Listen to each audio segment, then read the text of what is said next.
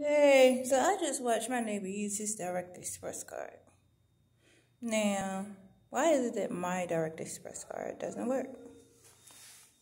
And because where I live at, the machines talk to you, right?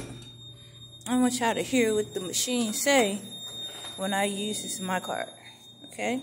Now I just saw someone just use their card. And these are the machines, but they talk.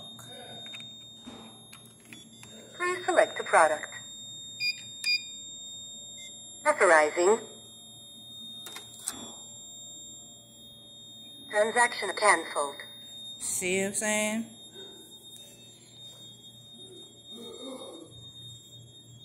But the person who used the uh, machine before I used the machine has a Direct Express card.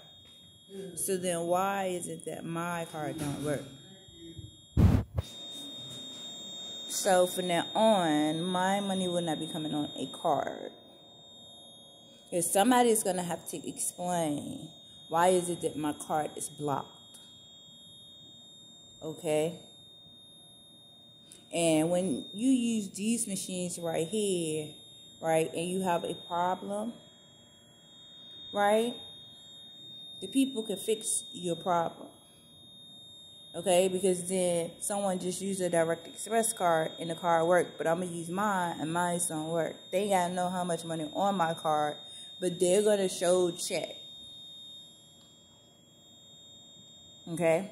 Because then if you have two dollars on your card, your card should work and on the machines.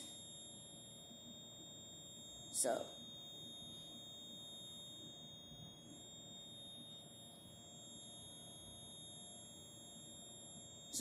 All right.